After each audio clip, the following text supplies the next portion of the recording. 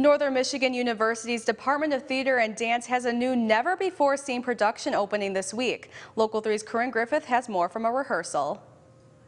The Forest Roberts Theater will play host to a theatrical event never seen on its stage before, an original world premiere ballet complete with a full chamber orchestra based on the old Norwegian folk tale East of the Sun, West of the Moon. Griffin was like, I think that we could really do this and I think we could do some interesting music and it of course plays in nicely to our area, which was kind of the theme, had something to do with Marquette and the Upper Peninsula and heritage, so being Scandinavian seemed to be a great fit. Bringing a full orchestra ballet to the Marquette stage has provided opportunities for the cast that they have never had before. I've never had the opportunity to do anything like this, which is really fun. Um, it's so cool to be able to have live music in a pit, which I've also never done, and it's just very special to be a part of.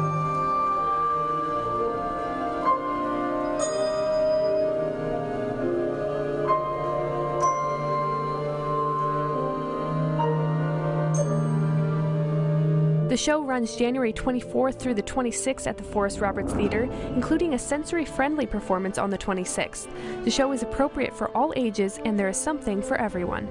It's actually it's a there's a really good mix of sort of humor and, and a lot of different stuff. A lot of the, the sort of troll bits are specifically humorous, mm -hmm. and so mm-hmm. it's not sort of this dark, you yes. know, super angry ballet. There's certainly like moments of, of grief and things, but it's it's sort of uh, contrasted by some, some light yes. elements too. For more information on East of the Sun, West of the Moon, go to our website, upmatters.com.